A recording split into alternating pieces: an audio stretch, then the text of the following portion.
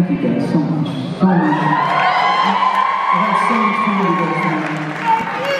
I, uh, I forgot to tell you when I heard um, right before Emily came out, they made some announcement about no pictures, no video. Bullshit. Yeah, to the building, people, everybody's been so great here, but I don't get that. I, I kind of got into show business because I wanted people's attention. I put, I put product in my hair. I, I want you to take my picture. Put that shit on YouTube immediately. Immediately.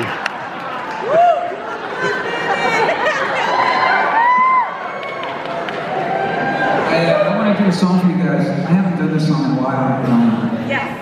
and it's one of my favorite songs I've ever written, but it was never, a, it was never a single. It was never a Oh. song for anybody. And, and I don't usually talk about what my songs are about. I, let, I leave that up to you. Or One more time. No matter what my intention might be or whatever I'm going through when I'm writing a song, I don't talk about it because every song I think should be open to a million interpretations. But um, this song is a, this song I wrote about my father. My father, uh, I lost my father in 1997, and I lost him very tragically and suddenly, and, and he and I were just so close. We had this extraordinary relationship.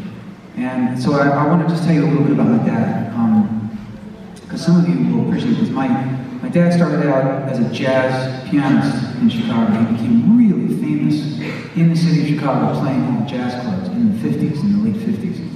And um, in fact, he was so well known. His name was Dick Marx, and he was so well known in, in, my, in the town I grew up in that even as a kid, I made a point that I would be Richard. Because even then, I figured out he was so well known that if I didn't do that, he would forever be known as a big dick. And you know that.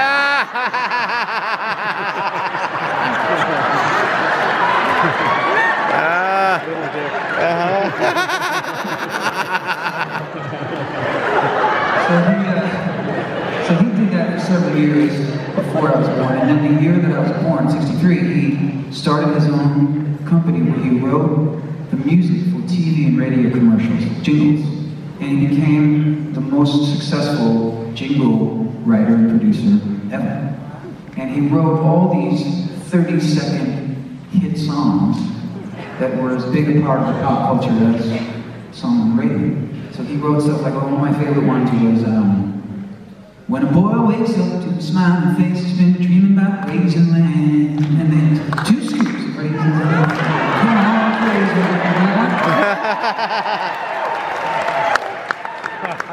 He, he wrote songs for uh, Oldsmobile and McDonald's and Oscar Mayer Wieners and Pillsbury and all this stuff. And, and even when they would give him the dumbest lyrics in the advertising agency, their slogans, he would still come up with something killer. And like the perfect example is my dad wrote the music to Ask any mermaid that happened what's the best tuna. Chicken of the sea.